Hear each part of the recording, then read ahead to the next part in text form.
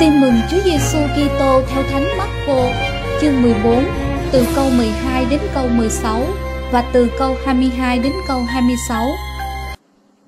Ngày thứ nhất trong tuần bánh không men là ngày xác tế chiên vượt qua, các môn đệ thưa với Đức Giêsu: Thầy muốn chúng con đi dọn cho thầy ăn lễ vượt qua ở đâu? Người sai hai môn đệ đi và dặn họ: Các anh đi vào thành và sẽ có một người mang vò nước đón gặp các anh. Cứ đi theo người đó. Người đó vào nhà nào, các anh hãy thưa với chủ nhà. Thầy nhắn, cái phòng dành cho tôi ăn lễ vượt qua với các môn đệ của tôi ở đâu?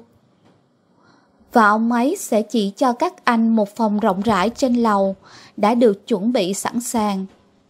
Và ở đó các anh hãy dọn tiệc cho chúng ta hai môn đệ ra đi, vào đến thành, các ông thấy mọi sự y như người đã nói, và các ông dọn tiệc vượt qua.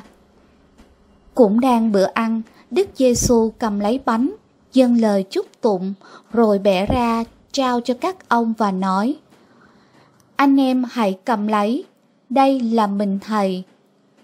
Và người cầm chén rượu dâng lời tạ ơn, rồi trao cho các ông và tất cả đều uống chén này.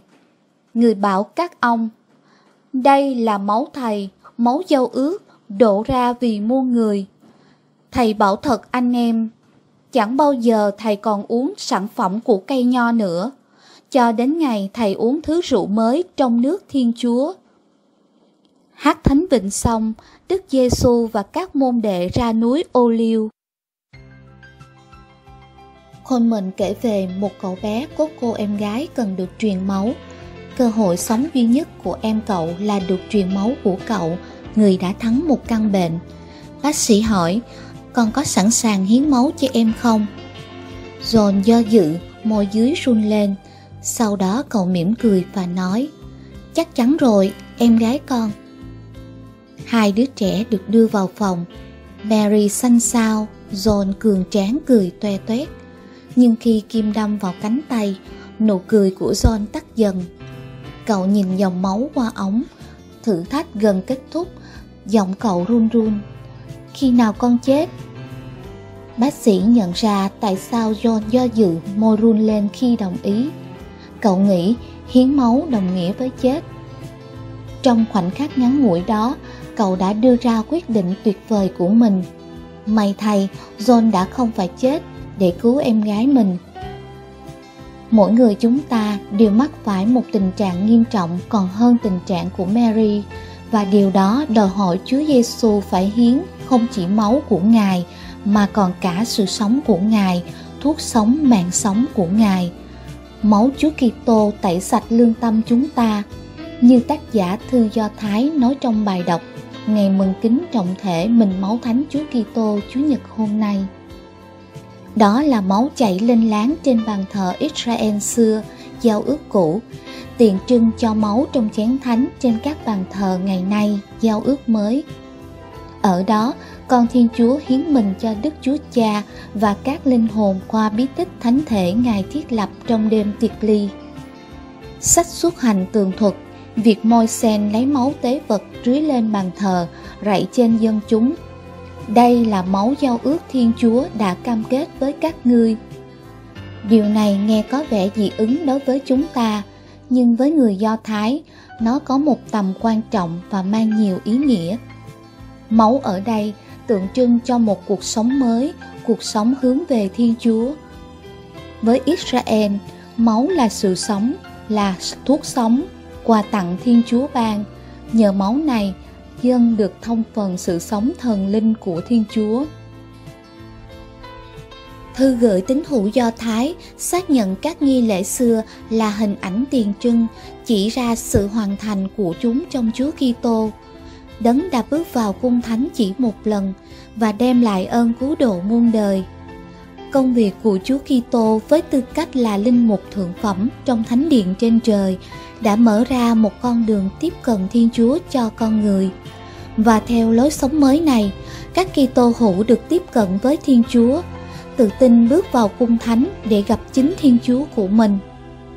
Như vậy, máu Chúa Kitô thanh tẩy chúng ta khỏi mọi công việc chết chóc của tội lỗi và cho phép chúng ta thờ phượng Thiên Chúa hàng sống. Nhờ chính hy tế của Chúa Kitô, chúng ta được cuốn hút vào việc cử hành thánh thể, mang lại sự thanh tẩy và ơn tha tội. Tin mừng hôm nay nói đến việc Chúa Giêsu lập phép thánh thể. Này là bình thầy, này là máu thầy. Ngài ban cho chúng ta thịt máu Ngài để chúng ta được ơn sống, được ơn tha tội và được đón nhận sự sống mới của Thiên Chúa. Thánh Vịnh Đáp Ca cũng bày tỏ hồng phúc lãnh nhận bổ quyết, thuốc sống ấy. Tôi sẽ lãnh nhận chén cứu độ và tôi sẽ kêu cầu danh Chúa. Qua việc lãnh nhận bổ quyết Ngài, chúng ta được mời gọi tiếp tục làm việc này, nghĩa là sống mầu nhiệm hy tế của Ngài, như Ngài và trong Ngài, là hiến mình cho Thiên Chúa Cha và cứu rỗi các linh hồn. Ước gì chúng ta biết khao khát thánh thể hơn, biết đối Chúa Giêsu hơn. Chúng ta xác tín thánh thể là của ăn, là thuốc chữa bệnh, thuốc sống, cũng là sức mạnh cho việc truyền giáo. Trong khi các thức ăn khác được ăn để trở thành chúng ta, thì với thức ăn mà chính Chúa Giêsu ban, thịt máu Ngài, chúng ta nên giống Ngài. Chớ gì việc rước mình thánh Chúa thực giúp chúng ta nên một Chúa Kitô khác cho những anh chị em đang ở trong những hoàn cảnh khó khăn mà Chúa cần chúng ta nâng đỡ họ. Lạy Chúa, thánh thể và thánh lễ là thiên đàng dưới thế, mà tình yêu Chúa đang cho con hưởng trước thiên đàng mai ngày trên trời. Xin cho con khao khát được ở bên Chúa, được trước Chúa và được nên giống Chúa mỗi ngày. Amen.